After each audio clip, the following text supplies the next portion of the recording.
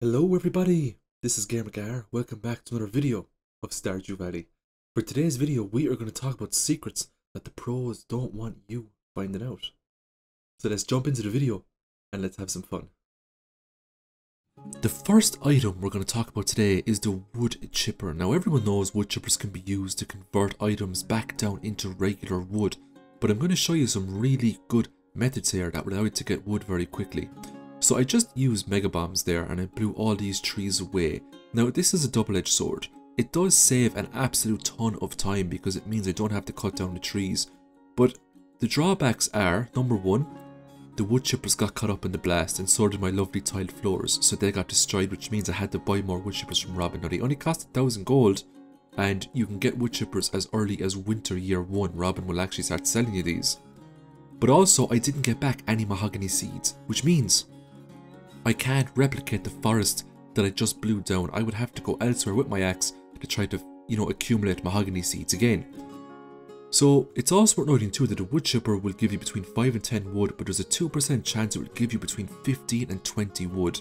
So let's look at the skills here. We have Forester, which means we get 25% more wood from trees, and Lumberjack. All trees have a chance to drop hardwood. Lumberjack isn't very useful on the hardwood trees, however, Forester is super handy. 25% more wood is an absolute no-brainer. The shaving enchant on the axe is a great way to go as well, because shaving will give us extra pieces of wood when we cut down trees. Now, it will only give us uh, additional, you know, regular wood, but it's still better than nothing. So this time we're going to cut down all the trees with our axe, and we're going to get tons of mahogany seeds. That means that we can replicate the forest again, no problem at all. It's also worth noting too that you can put driftwood into these wood chippers, and you get back 5 to 9 wood, but there's also a very small chance the wood chippers, when you put in hardwood, will give you back maple syrup, oak resin and pine tar. So there's about a 0.66% chance you'll get back those. That's actually really handy if you're looking to make kegs or if you're looking to make bee houses or things like that, you know? So the wood chipper is extremely overpowered. It is by far the best processing machine in the game to accumulate hundreds and thousands of wood by just growing mahogany trees. Next up, let's talk about the beauty of the bone mill. I have two chests here. The first chest is filled up with artifacts that are exclusive to Ginger Island only. All of these artifacts you see here can be given to Professor Snail to complete his mini quest, which gives you the ostrich incubator and tons of golden walnuts. But more importantly, what do you do when you're finished these mini quests? What do you do with these items? When you have multiples of them from exploring Ginger Island, you put them straight into the bone mill and because these items are so good, you only need one of each to put into the bone mill to get back extraordinary items. Now you can get back fertilizers, you can get back speed grow, even get back tree fertilizers, which means you can have huge tree farms within just a few days.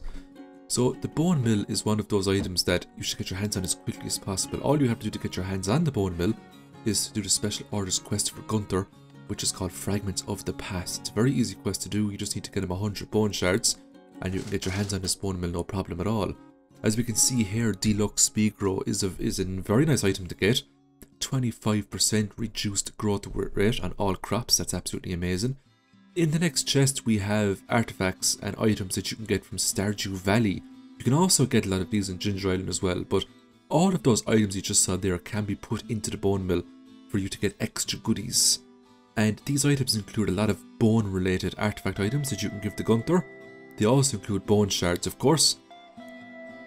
And the great thing about this is that if you play the game for as long as I have, you probably have a chest filled up to the top with all of these items. So if you have them, put them into a bone mill and get back lovely farming goodies.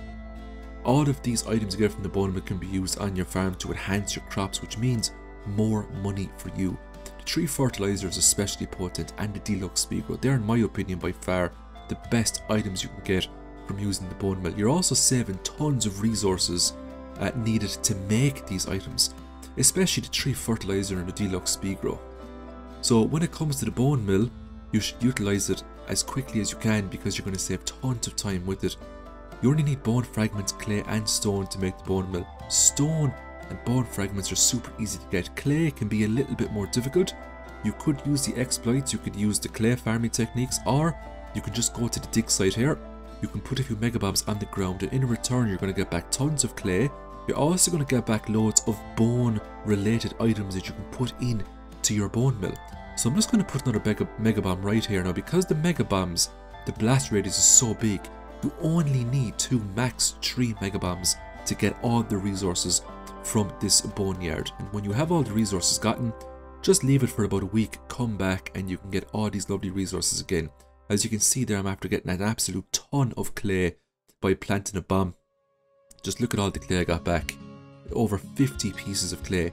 I can make tons of bone mills using all those resources now.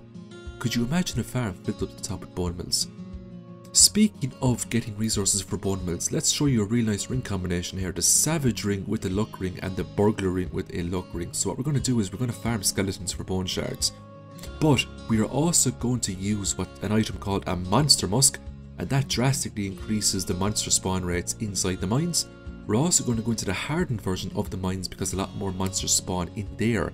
So we're just going to hit 70 floors. This is where all the lovely skeletons spawn. Now these are harder than the regular skeletons, but because of the ring combinations we're using, we're maximizing our farming potential of these monsters. The burglar ring will see to it that these monsters will drop double the loot for us.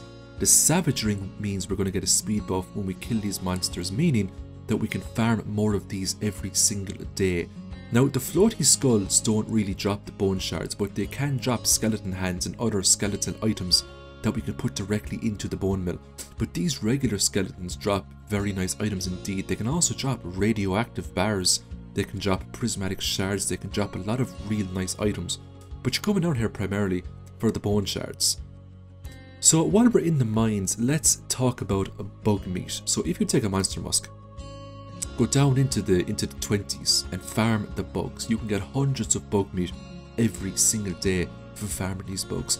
Why am I talking about bug meat? Well, let's hold a thought for a second. Let's also talk about slime. Why do we want tons of slime? The reason why we want tons of slime and bug meat is to make a particular item in this game that will get you huge profits. So obviously when it comes to slime, you can't go wrong with a slime hutch.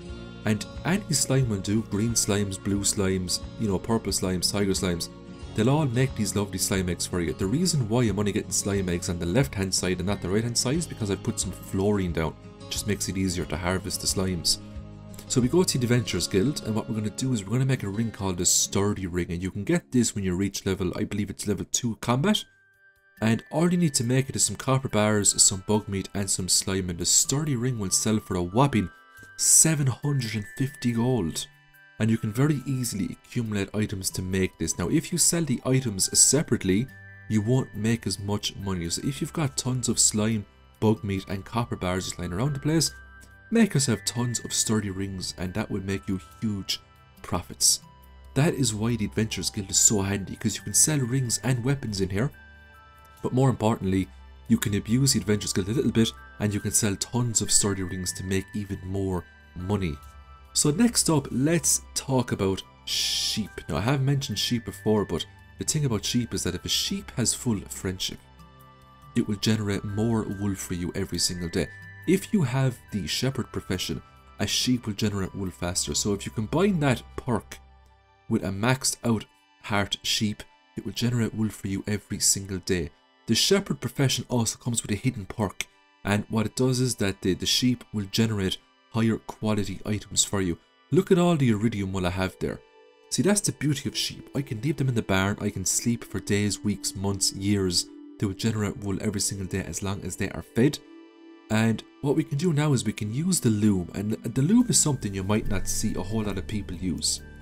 But the loom will convert wool into cloth, we all know that. However, did you know that a silver piece of wool has a 10% chance to give back double cloth, a 25% uh, chance for gold, and a 50% chance for iridium? That means if you convert tons and tons of iridium wool, you have a 50% chance to get back double the cloth. Now it's also worth noting too that the cloth is an artisan item, it isn't an animal product. So my advice to you is that use your rancher and your shepherd professions if you're not doing much on the farm and your sheep are just generating wool every single day, but switch it up to the artisan profession when you sell the cloth because the artisan will give you 40% extra bonus when you're selling artisan items. That's a much larger profit for you. That's an extra 40% in the pocket from selling all that cloth. And if you have a barn filled up to the top with sheep, you can accumulate tons and tons of wool, no problem. So the Statue of Uncertainty here, only 10,000 gold and you can swap the perks from each profession. We're just going to choose the farming profession here. We're going to go to sleep and now we're going to go back to the tiller here and we're going to go to artisan. Now do not sell your items on the same night you change professions because the perks won't kick in until the next day. So I'm just going to sell the items out the next day after changing professions and look at all the money I get for 999 pieces of cloth. 657,000 gold. It's absolutely amazing. And let's also talk about chickens, golden chickens. Look at their lovely golden eggs. They sell for so much. 1000 gold for the golden egg. But if you have the rancher perk, 20% more for animal products, they sell for 1200 gold apiece. Now you can convert those golden eggs into mayonnaise. You get 3 mayonnaise for every golden egg, but it's it's worth it to sell the golden egg itself if you have the rancher profession of course. And you can just leave those chickens in your barn for the whole year and just let the eggs accumulate. Like I've, you know, the auto grabber will just do the work for you. The auto petter will ensure that they don't lose friendship points. So that's the rancher and the coop master. Coop master is important because it increases the chances of your chickens laying higher quality eggs. So iridium eggs are the way to go. And this doesn't just apply for chickens, this applies for any coop animal. You know, if you want to get higher quality products such as duck feathers, rabbit's foots, Let's talk about the mushroom trees. Now, you can get mushroom seeds from Qi's secret walnut room. You can just plant them in your farm. All you need is one seed. So, if you, I have heavy tappers set up here, and basically these will generate mushrooms for me all the time. Now, I just got a bunch of common mushrooms there, which is alright. However, on the 10th or 20th of each month, there is a huge chance that these tappers will give you back purple mushrooms. Look at all the purple mushrooms I'm getting now. Purple mushrooms are absolutely amazing for healable foods. They give you back tons of energy. They also give you back a very nice portion of health. And if you have loads of healable foods yourself, you can always sell them and make huge profits that way. Each purple mushroom sells for 250 gold. You could set up huge mushroom farms like this and make loads of money as a mushroom farmer if you wanted to play the game that way. So this is another beautiful method for you to make tons of money in the game and it, all you need is 5 Qi gems for one mushroom tree seed. That's all you need, just 5 Qi gems, plant that, and that tree will generate seeds all around it for the whole year except winter. So I'm going to leave the video there, I hope you enjoyed it. As per usual, the next Stardew Valley video will be uploaded for Sunday for you to enjoy, and what a whopper of a video that will be. If you haven't subscribed to the channel yet, then hit that subscribe button so you'll be notified when future Stardew Valley content and other content is released on this channel. I hope you have a great day, and I'll see you in the next video. Bye for now.